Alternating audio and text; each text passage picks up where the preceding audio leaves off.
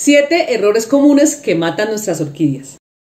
El primer error es el exceso de fertilizantes. Resulta y pasa que en el mercado conseguimos muchos fertilizantes y empezamos a aplicarlos muy seguido. Debemos seguir las instrucciones de cada fertilizante. Cuando esta tiene floración, debemos usar fertilizantes para floración. En mi caso, yo uso un abono para orquídeas que cuando empieza a salir la vara floral, le empiezo a aplicar cada 15 días tal como lo dicen las instrucciones. Cuando ya termina la floración, podemos aplicar un abono orgánico. Yo normalmente les aplico humus o té de plátano o le pongo abono de frutas y estas tienen un desarrollo óptimo. El segundo es no regar de manera adecuada. Muchas veces cogemos nuestras orquídeas y las empezamos a regar muy seguido y estas empiezan a encharcar y no nos damos cuenta. Cuando empezamos a notar que se están encharcando, ya es demasiado tarde.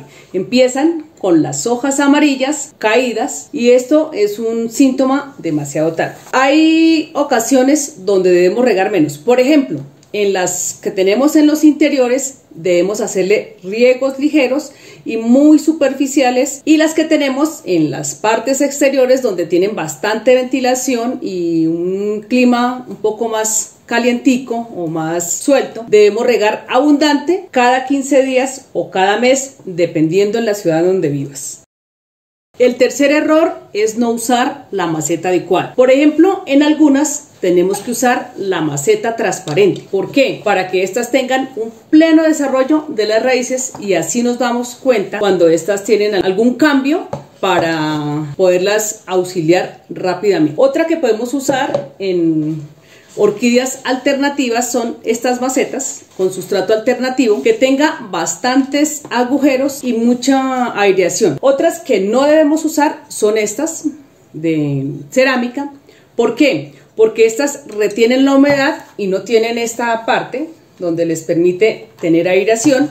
También los huecos de estas son muy precarios, son muy poquitos y esto no permite que estas tengan un desarrollo óptimo. Estas las podemos usar cuando tengamos nuestras orquídeas de esta manera, le ponemos piedritas en el fondo y las podemos usar en ocasiones especiales. No podemos dejar la planta todo el tiempo ahí, la debemos sacar en algunas horas de la semana y la llevamos a una luz donde ellas puedan tomar este sol.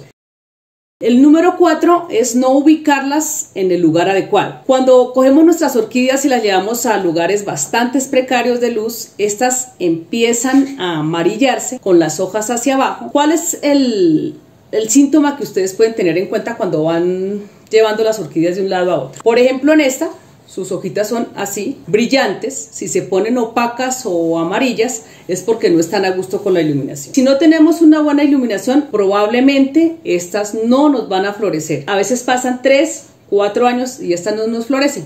¿Por qué? Por no darles una iluminación adecuada.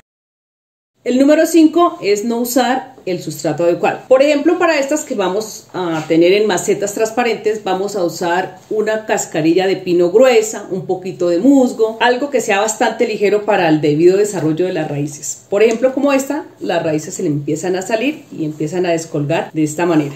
Eso quiere decir que ya tiene un desarrollo bastante bueno. Hay otras que son terrestres, en estas podemos usar un poquito de tierra, palito descompuesto, cascarillas o hojas y también les va muy bien. Esta se pueden eh, cultivar en estas macetas oscuras y no pasa absolutamente nada. Ahora, si ustedes van a usar un sustrato con poca drenación, seguramente esta planta no les va a prosperar y se les va a morir en muy poco tiempo.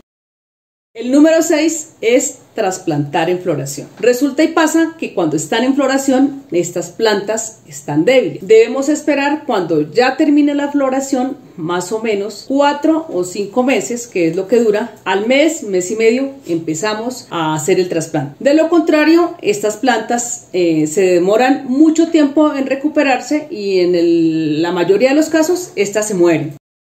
El séptimo y el más importante es no revisarlas de manera periódica. Resulta y pasa que cuando las compramos, como a veces vienen en floración y nos dura bastante tiempo, no las revisamos. Hay partes donde las venden, sobre todo para fiestas especiales. Eh, en el centro les ponen como único por o a veces demasiado musgo y estas se empiezan a deteriorar muy lentamente y cuando nos damos cuenta es bastante tarde. La voy a sacar para mostrarles. Le hacemos masaje a la maceta y la sacamos con cuidado sin ir a maltratar en las raíces y vamos mirando si de pronto trae esto que yo les estoy diciendo. Efectivamente, esta la traen. Cuando regamos de más, esta, este pedazo de icopor o de musgo que trae acá se empieza a encharcar y esta planta termina muriéndose.